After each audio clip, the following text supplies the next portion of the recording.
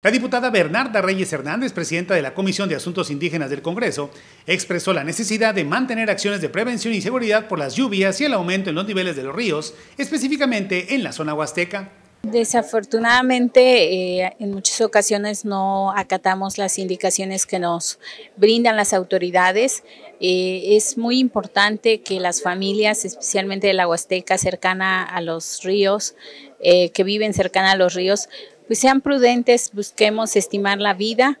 Eh, en este momento los ríos crecidos con mucha corriente pues pueden eh, llegar a un desenlace no muy agradable como es justamente este lamentable accidente.